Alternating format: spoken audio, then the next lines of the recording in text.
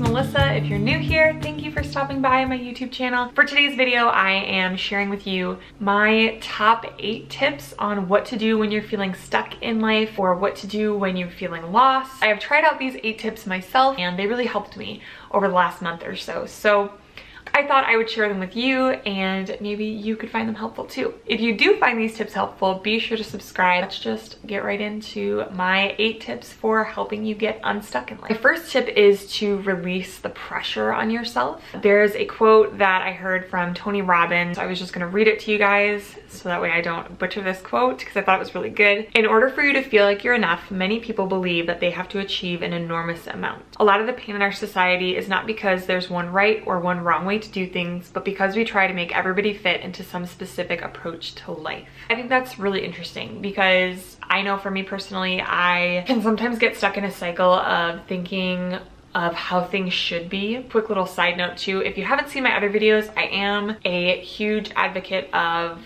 like getting the help that you need and I don't think there's anything wrong with going to therapy. Like I go to therapy myself and I love it. It's great. it's helped me really work through a lot of this type of stuff. As far as it goes with releasing that pressure on yourself, you know, that quote from Tony Robbins brings up a really good point because I think a lot of times we're focused on how our lives should be and how things are perceived on social media and I think it can be really easy to internalize that and start to get down on ourselves. I should be at this point in my life right now. I think it can just be easy to put a lot of pressure on ourselves when we are feeling lost in life. I think a lot of that has to do with we're too focused on how things should be instead of looking at how things are. I noticed when I started to just release the pressure on myself and be like, okay, this is how it is. Maybe this isn't exactly where I want to be right now, but this is where I am at in this point in my life. It is what it is. Right now in this moment, I cannot change my circumstances circumstances. Now the actions I can take moving forward will change that and affect that outcome. But in this second, in this moment right here, right now, I cannot actually change what's happening. In that sense, it takes a lot of the pressure off of you because you're not beating yourself up. I think a lot of that has to do with focusing too much on the way things should be instead of the way things are. So when you change your perspective on that a little bit, it can help you release that pressure on yourself. Another thing that I heard in this Tony Robbins video, and I'll try and link it down below if I can find the video that I'm referring to talking about our blueprint. And I think it was such an interesting concept. I've never thought about it this way before, but it was sharing that in our minds at any given time, we have a blueprint of what we think each area in our life should look like. Our relationships, our career, our home life, our work life, our school life, whatever categories you have in your life right now, you have an idea of what that should look like and that's what he was calling your blueprint. If your blueprint doesn't match what your current reality is, then you are not happy with that current situation. If it does match your blueprint or your perspective of what you think that it should look like, then you consider it you know, that you're happy in that area or that happy with that area of your life. So what I did with this was I kind of made it into my own little journaling exercise because I love me and my journals. And I actually wrote down, you know, what is one area of my life I'm happy with right now and wrote that out in detail and got really specific. And then I wrote down what specifically I thought that should look like in my head and it did match really well. And I did the same thing with an area of my life that I'm unhappy with and it was the same thing. My blueprint was what I thought it should be and it didn't match what my current reality is in that area. It was kind of an interesting idea to see it from that perspective of thinking of it as a blueprint because a blueprint, where does that come from?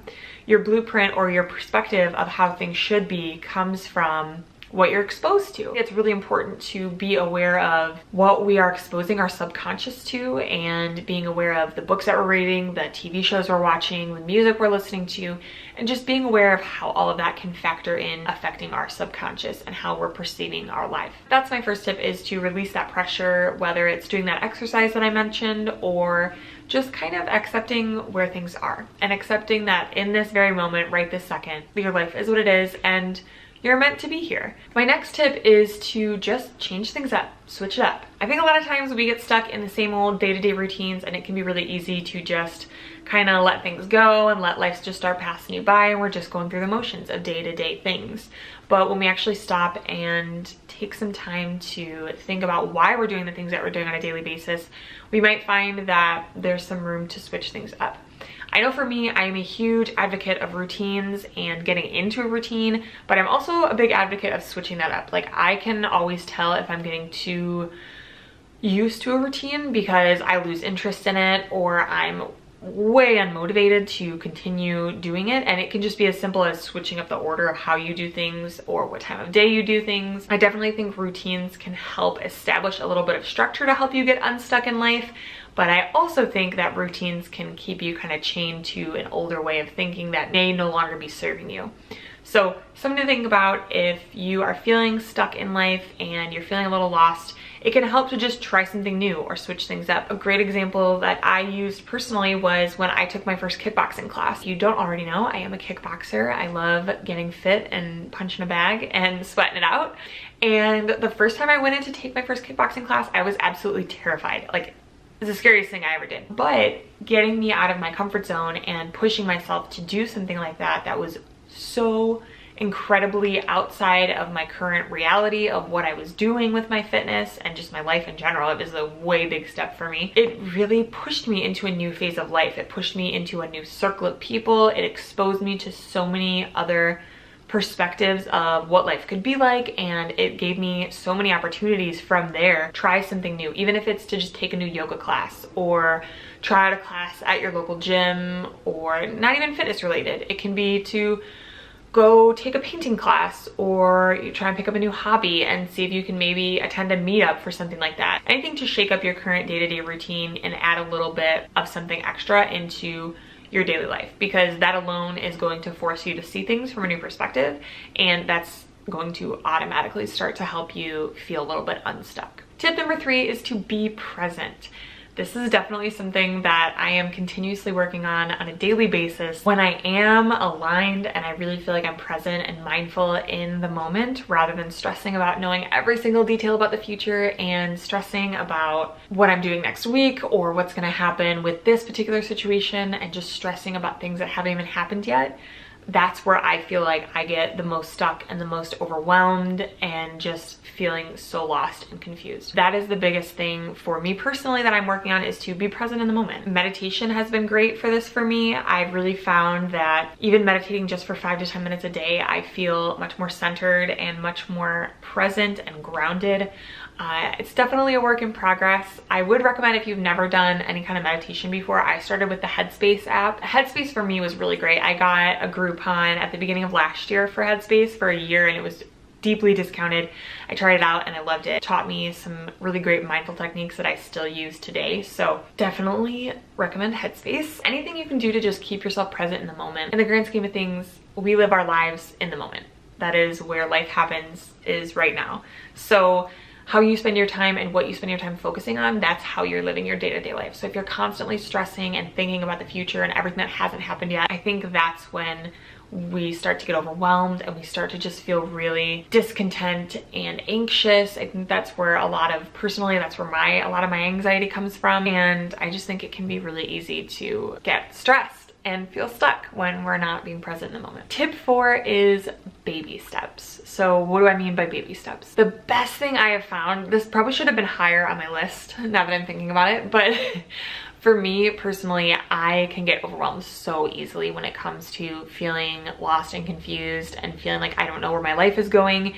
And the biggest thing that's helped me is just taking it teeny tiny step at a time. I was feeling kind of stuck and in a funk. I just started to try to do a little bit each day. Even if there were some days that I felt like it was like a struggle to just get up, I really fell off of my fitness routine, which is something that always makes me feel very grounded. What I decided to do was instead of saying like, okay, I'm gonna work out for two hours every single day, I'm just gonna go and work out for 15 minutes, get my heart rate up, and I'm gonna go home. And that small baby step led to me going back the next day and the next day. And I slowly was able to increase the time a little bit more and get up to where I was before. But I think the way that I was able to do that was because I wasn't putting pressure on myself to take this giant leap in one day. I wasn't going from not working out for the last couple weeks to, well, now I'm gonna go in and I'm gonna go work out for an hour and a half and I'm gonna do weights and I'm gonna do strength training and I'm gonna do cardio. And it was like, you know, I didn't overwhelm myself with that. Because I think when we're in a state of feeling overwhelmed and feeling stressed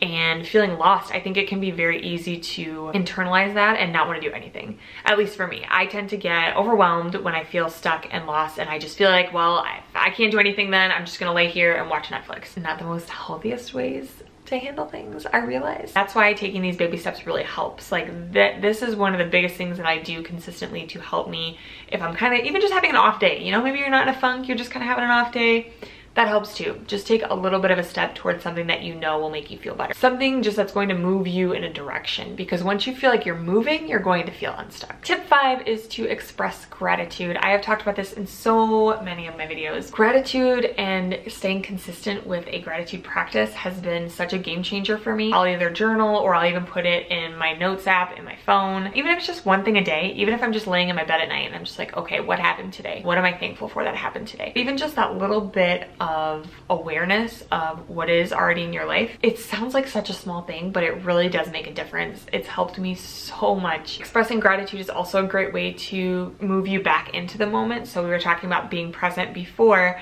and expressing gratitude is a great way to do that. It helps you hone in on right here, right now, what has happened in the last few hours instead of, oh my God, what's gonna happen tomorrow? What's gonna happen the next day? And again, taking it small steps at a time, building on all of these tips. You don't have to write 20 things that you're thankful for that day. It could just be, I had a really good cup of coffee in the morning. It will play out into helping you feel better overall about where you're at. So if you've seen any of my videos, you know that I absolutely love my journals. I love filling my notebooks. Whenever I am at a point where I'm feeling stuck in my life or I'm feeling lost, I tend to journal significantly more. For me, when I am feeling stuck, journaling just helps me clear my thoughts out. It helps me see what is actually making me feel stuck. A lot of times I would get confused and be like, oh, you know, I'm feeling so stuck in life. I don't know what I'm doing with my career or I don't know what I'm doing with my job.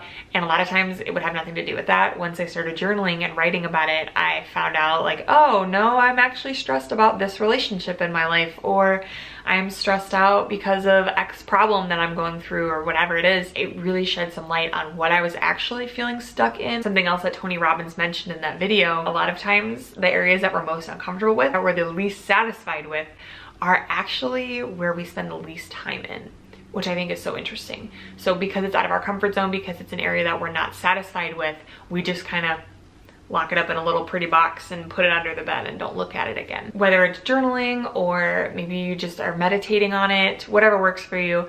Uh, for me, writing has always been the way that I express myself best journaling just really sheds light on where you're feeling stuck so you can actually start to apply these other tips to that particular area of your life. Tip seven is to get outside. I know this is a little bit different than the other tips, but getting outside is just so clearing. For me, like I love taking my puppy Bailey out on walks. Maybe you just go sit at the park for a few minutes and listen to a podcast or read a good book or something like that. But even just being in the outside air, I feel like it's just very cleansing. I think it's a great way to clear your head to just be in nature and it's also another great way to help you be more present in the moment. So all of these tips kind of build on top of each other. And my last and final tip, tip number eight, is to take care of yourself. I know this sounds a little obvious, but when I am feeling stuck and when I am feeling lost in life, the first thing to go is my self-care. I really found that when I take some time to get myself ready for the day, something to kind of make you feel a little bit pampered a little bit, refreshed, a little bit of a happy boost. At least for me it does. I always feel so refreshed and ready to be productive and conquer the world after I do something like that. So those are my eight tips to help you if you are feeling stuck or if you feel lost in life. I hope you found these tips helpful. If you did, be sure to hit that subscribe button. I upload videos weekly. Thank you again so much for watching. I hope you are having a wonderful week and I'll see you guys in my next video.